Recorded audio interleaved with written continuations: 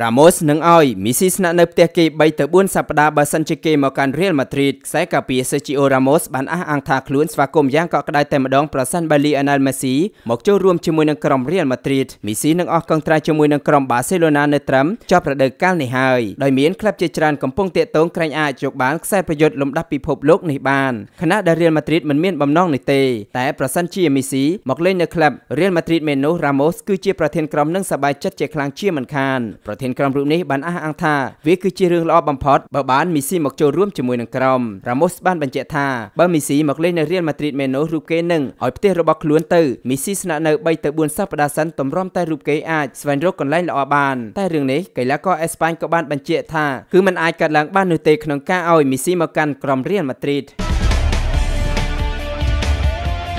ប្រធានក្លឹបបាសេឡូណាថ្មីចង់រកអ្នកស្នងតំណែងរបស់លោកកូម៉ែនលោកជូអែនឡាប៉តាដែលទៅជុលកាន់តំណែងជាប្រធានក្លឹប FC បាសេឡូណាសារជាថ្មីបានបង្ហាញចំណាប់អារម្មណ៍ចង់រកអ្នកចាត់ការទូទៅថ្មីជំនួសលោករ៉ូណាល់កូម៉ែនសារព័ត៌មាន AS បានចុះផ្សាយថាលោកឡាប៉តាបានរក្សាភាពអំណត់ចំពោះលោកកូម៉ែនផងដែរយ៉ាងណាគ្រូបង្វឹករូបនេះត្រូវបាននាំចូលពីលោកជេសេម៉ារីបាទូមូកំពុងកាន់តំណែងអ្នកសារព័ត៌មាន Menu ការ៉េណូបានសរសេរនៅលើ website Cadena SE អថាលោកឡាប៉តានៅតែគោរពលោកគូមែនតែប្រហែលមិនតកងត្រាទេមើលទៅលើកឡើងបតាចង់បានគ្រូថ្មីជាងហើយនៅក្នុងនោះក៏មាន Julian Nagelsmann ជាគ្រូបង្គោលរបស់ RB Leipzig ផងដែរលើកឡើងបតានឹងក្រុមការងារនឹងពិភាក្សាគ្នាថាតើត្រូវបន្តកិច្ចសន្យាជាមួយនឹងលោក Ronald Koeman ឬក៏យ៉ាងណាបច្ចុប្បន្នសុពលភាពនៃកិច្ចសន្យារបស់គ្រូបង្វឹកសញ្ជាតិហូឡង់រូបនេះនៅសល់ដល់ឆ្នាំ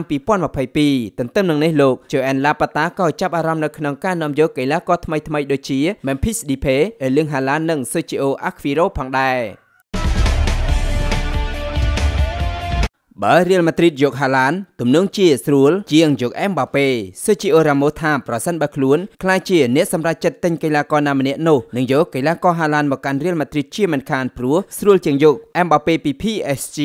រ៉ាម៉ូកំពុងសម្រាប់ព្យាបាលរបួសនឹងអាចចូលហាត់វិញបានតិចតិចផងដែរខ្សែការពាររូបនេះនៅសល់កងត្រាត្រឹមរដូវកាលនេះតែប៉ុណ្ណោះហើយការផ្ដល់កងត្រាថ្មីយ៉ាងណានៅមិនទាន់បានដឹងដំណឹងនោះទេប្រភពជាច្រើនបានជឿជាក់ថារៀលម៉ាឌ្រីតទំនងជាឲ្យរ៉ាម៉ូសចាក់ចេញហើយព្រោះការចរចាមិនបានសម្រេចឡើយនៅក្នុងបទសម្ភាសន៍នេះប្រធានក្រុមរៀលម៉ាឌ្រីតក៏បានបង្ហាញចំណាប់អារម្មណ៍ទៅនឹងការនាំយកកីឡាករថ្មីមកចូលរួមក្រុមផងដែររ៉ាម៉ូសបាននិយាយថាបើសិនជាខ្លួនគឺជាអ្នកសម្រេចចិត្តថានឹងនាំយកកីឡាករណាមួយមកចូលរួមជាមួយនឹងក្រុមរៀលម៉ាឌ្រីតនោះច្បាស់ណាស់នឹងយកហាឡានជាមិនខានកីឡាករក្រុម Borussia Dortmund រូបនេះទំនងជាមានតម្លៃខ្លួនទាបជាង Mbappe របស់ក្រុម PSG ច្រើនទៀតផង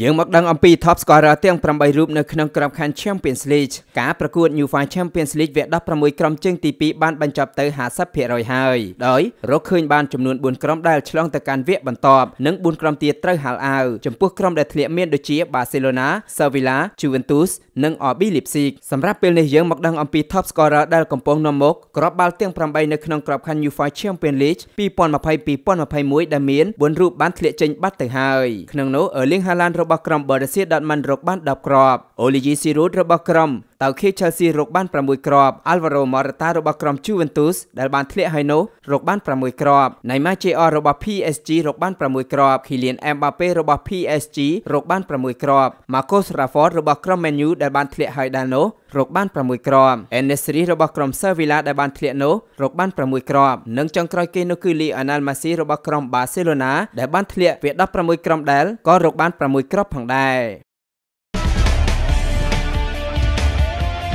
មេថមលីអូណាល់ដូឆ្លើយតបយ៉ាងសាមញ្ញជំវិញការចោះហត្ថលេខាលើរ៉ូណាល់ដូនិងមីស៊ីនាយកផ្នែកកីឡារបស់ក្លឹប PSG លោកលីអូណាល់ដូបានចេញមុខឆ្លើយតបទៅនឹងពាក្យចចាមអារ៉ាមដែលថាក្លឹបរបស់លោកកំពុងព្យាយាមតាមចោះហត្ថលេខាលើលីអូណាល់មេស៊ីនិង Cristiano Ronaldo ជាស្ដែងក្រុមយេបារាំងអាចឈានទៅកាន់វគ្គ8ក្រុមចុងក្រោយនៅក្នុងក្របខ័ណ្ឌ UEFA Champions League ជាមួយនឹងជ័យជំនះដោយលទ្ធផល5ទល់នឹង2ទៅលើក្រុម Barcelona ដែលជាក្រុមរបស់ក្រុមខ្សែប្រយុទ្ធសញ្ជាតិអាសង់ទីនខាងលើហើយជាមួយគ្នានេះផងដែរខ្សែប្រយុទ្ធ Cristiano Ronaldo ក៏បានខកខានឱកាសឈ្នះពានរង្វាន់ទ្វីបអឺរ៉ុបមួយនេះបីរដូវកាលជាប់ជាប់គ្នាផងដែរបន្ទាប់ពីត្រូវទម្លាក់ដោយក្រុមប៉កតូមិនតែប៉ុណ្ណោះវាត្រូវបានគេយល់ថាតារាកំពូលទាំងពីរកំពុងក្លាយជាគោលដៅសម្រាប់ក្រុម PSG ជាមួយនឹងមីស៊ីកំពុងមានអនាគតមិនច្បាស់លាស់ជាមួយនឹងក្រុមបាសាស្របពេលដែល Ronaldo កំពុងជួបបញ្ហាប្រាក់ពលកម្មរបស់ខ្លួនជាមួយនឹងក្លឹបអ៊ីតាលីផងដែរហើយយ៉ាងណាមិញដោយឆ្លើយតបទៅនឹងពាក្យចចាមអារ៉ាមទាំងនេះលោក Leonardo បានថ្លែងប្រាប់ទៅកាន់ RMC ថា អ្វីដែលធ្វើឲ្យយើងសប្បាយចិត្តនោះគឺ PSG តែងតែត្រូវគេ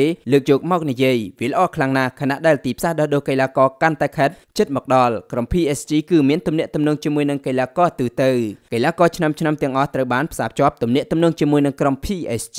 នេះគឺជាអ្វីដែលត្រូវតែឲ្យតម្លៃយើងតែងតែមានអតិភិបនៅក្នុងការនិយាយជាមួយនឹងកីឡាករឆ្នាំឆ្នាំដែលចង់មកកាន់ក្រុមយើងក៏ប៉ុន្តែពេលនេះយើងគ្មានការចរចាណាមួយដើម្បីនាំយកកីឡាករចំណូលថ្មីមកចូលរួមក្រុមនោះទេ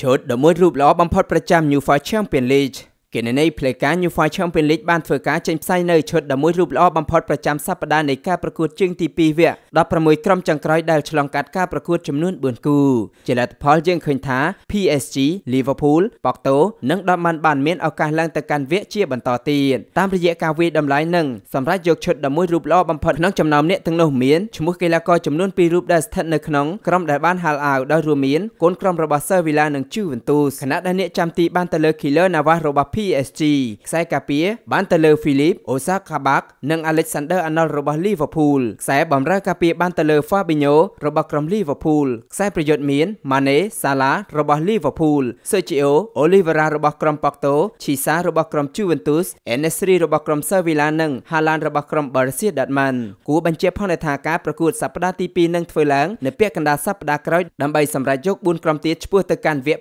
8ក្រុមចុងក្រោយ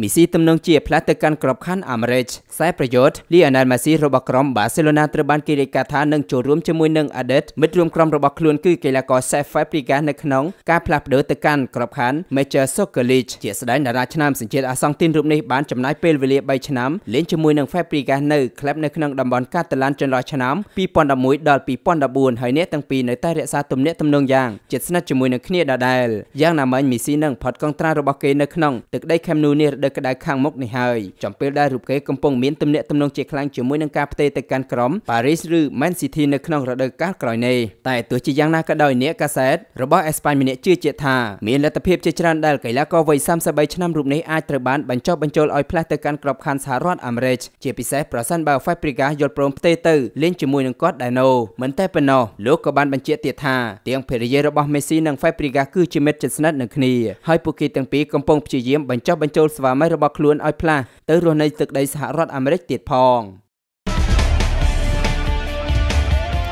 ទូការចាប់អារម្មណ៍គ្រូបង្វឹកម្នាក់ពាក់ស្បែកជើងស្ទាវតម្លៃរាប់ពាន់ដុល្លារចូលទីលានលោកស៊ីនីសាមីហាឡូវីកអ្នកចាត់ការទូទៅរបស់ក្រុមប៊ូលីញ៉ាបានធ្វើឲ្យអ្នកគ្រប់គ្រងមានការចាប់អារម្មណ៍ជាខ្លាំងដោយសារតែលោកបានពាក់ស្បែកជើងស្ទាវបំផុតប្រភេទ Jordan One Retro High of White University Blue អ្នកចាត់ការទូទៅវ័យ52ឆ្នាំរូបនេះពាក់ស្បែកជើងមួយគូនេះឈរនៅលើទីលានអំឡុងពេលដឹកនាំក្រុមប្រកួតជាមួយនឹងក្រុមណាប៉ូលីកាលពីដើមសប្តាហ៍កន្លងទៅតាមប្រភពបានបញ្ជាក់ថាស្បែកជើងដែលជាផលិតផលរបស់ក្រុមហ៊ុន Nike មួយនេះចេញដំបូងតម្លៃរង្វង់ជិត200ដុល្លារក៏ប៉ុន្តែនៅក្នុងពេលបច្ចុប្បន្ននេះវាបានឡើងថ្លៃមែនទែនដល់ទៅ3500ដុល្លារសម្រាប់ទំហំធំជាងគេបង្អគូបញ្ជាក់ផងថាសម្រាប់ស្បែកជើងប្រភេទនេះតម្លៃរបស់វាខុសគ្នាទៅតាមទំហំក្រោយពីបានឃើញគ្រូបង្វឹករូបនេះលេងខ្លួនយ៉ាងស្ទើរបែបនេះអ្នកគ្រប់គ្រងជាច្រើនបានបង្ហាញការភ្ញាក់ផ្អើលយ៉ាងខ្លាំងដោយអ្នកគ្រប់គ្រងម្នាក់បាននិយាយថាលោកពិតជាស្វែកខ្លាំងណាស់អែមអ្នកទៀតបាននិយាយថាពិតជាអស្ចារ្យមែនទែនយ៉ាងណានៅក្នុងការប្រកួតនោះប៊ូលីញ៉ាបានចាញ់ការប្រកួត1ទល់នឹង3 លោកជូសេម៉ូរីញ៉ូបញ្ជាក់អំពីស្ថានភាពរបស់ Harry Kane នៅក្នុងការប្រកួតវគ្គ16ក្រុមចុងក្រោយជើងទី1នៅក្នុងពានរង្វាន់ Europa League ក្រុមមន់ផ្នែកមាស Tottenham Hotspur បានយកឈ្នះ2ទល់នឹង0ទៅលើក្រុម Dinamo Zagreb ដោយទាំងពីរគ្រាប់គឺជាការបញ្ចប់ទី2សំណាក់កីឡាករ Harry Kane យ៉ាងណាក៏ដោយនៅនាទីទី84 Kane ត្រូវបានបដូរចេញដោយដាក់កីឡាករ Carlos Vinicius ឲ្យចូលមកជំនួសដោយកីឡាករសញ្ជាតិអង់គ្លេសជួបបញ្ហារបួសនៅផ្នែកជង្គង់ជំវិញរឿងរ៉ាវនេះបានធ្វើឲ្យអ្នកគ្រប់គ្រងបារម្ភជាខ្លាំងព្រោះ Kane ក៏ទៅតែជាសះស្បើយពីរបួសសាមុនហើយនៅប្រកួតបន្តបន្តសតតែសំខាន់សំខាន់សម្រាប់ Spurs ទៀតផងតាមការបញ្ជាក់របស់លោក Jose Mourinho ក្រោយចប់ការប្រកួតបានផ្ដល់តម្រុយវិជ្ជមានថាស្ថានភាពរបស់កេនទំនងជាមិនអីនោះទេ ហើយជាលើកគុណក្រុមថាគ្មានបញ្ហាអ្វីនោះទេត្រឹមការប៉ះទង្គិចតែប៉ុណ្ណឹងដោយក្នុងនោះ Special One ក៏បាននិយាយថា Harry Kane Harry ខ្ញុំមិនជឿជាក់ថានឹងមានរឿងអ្វីធំដុំសម្រាប់គេនោះទេដោយការប្រកួតនៅថ្ងៃអាទិត្យបន្ទាប់នេះគឺគ្រប់គ្នាចង់លេងហើយរឿងតូចតាចប៉ុណ្ណឹងគឺមិនអាចបញ្ឈប់គេបានឡើយដោយខ្ញុំគ្មានអារម្មណ៍ថាវាធ្ងន់ធ្ងរអ្វីទាំងអស់ដោយគេអាចជួយយើងបានច្រើនណាស់ហើយថែមទាំងពេលខ្លះគឺចូលមកការពារនៅតំបន់ខាងក្រោមទៀតផង